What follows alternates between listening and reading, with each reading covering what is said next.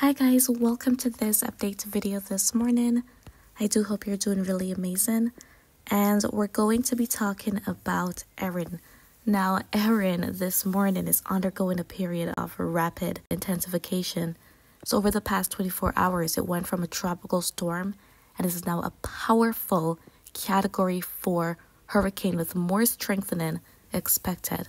Now, straight away, these uh, Category 4 impacts are staying offshore at the moment, but Erin is bringing impacts to the Caribbean. The uh, periphery of it has been moving into the northeastern islands and likely resulting in some periods of very heavy rainfall and gusty winds. So, if you're in the northern Leeward Islands, let me know what's been going on for you.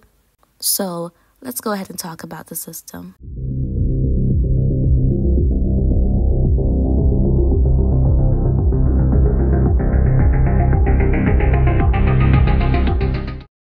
Okay, so here we look at the monster this morning. Now, it is kind of best case scenario with how it is right now.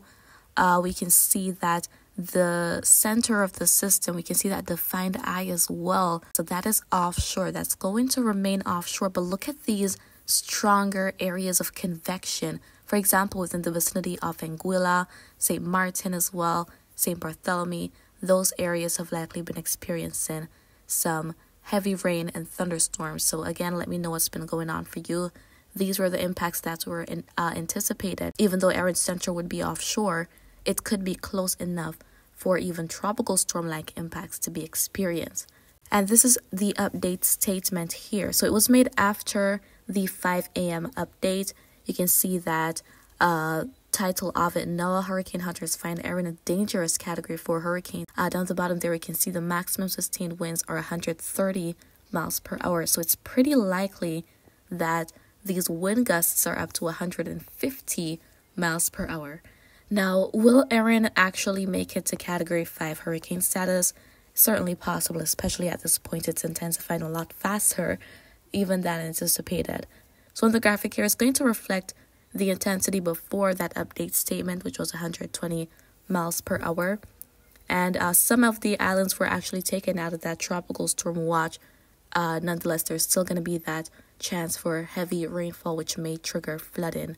So, again, Erin is going to be staying offshore and it's going to be starting to make that curve and move more to the northwest as we head into tomorrow afternoon.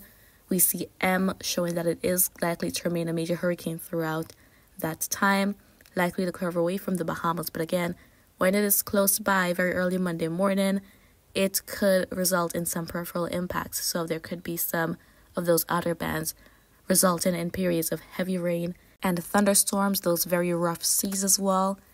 And that's also going to be uh, the case for Puerto Rico and the Virgin Islands as we head throughout today and into early tomorrow. In terms of the conditions ahead of Erin, so this is a look at the sea surface temperatures.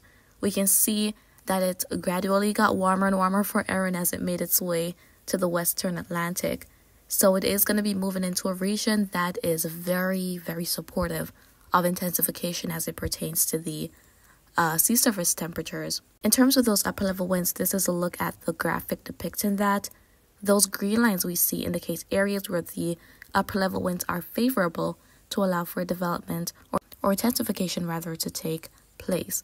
So right now, Erin is in an area of low shear. We can see those green lines around it to indicate that. So those upper level winds are pretty much those strong winds further up in the atmosphere that would interfere with intensification. So the conditions ahead of Erin are definitely conducive. And for now, uh, one of the things that's very common among powerful hurricanes is eye wall replacement cycles. And when that happens, there tends to be fluctuations in intensity until that new eye develops. So that is going to be a possibility as well for Erin, but I really think it has a pretty decent chance of making it to category 5 hurricane status. So, again, those impacts are continuing in the northeastern Caribbean islands. For the Virgin Islands and Puerto Rico, as we progress throughout the day, conditions will likely deteriorate as Erin's outer bands bring some impacts there. So please continue to stay safe as best as possible, guys. And I may post another detailed video this evening about the system, so stay tuned for that. But that's it for this morning. I do hope you found this updates to be informative. If you have any questions, feel free to leave them in the comments. I'll get to you when I can. And remember to always be weatherwise.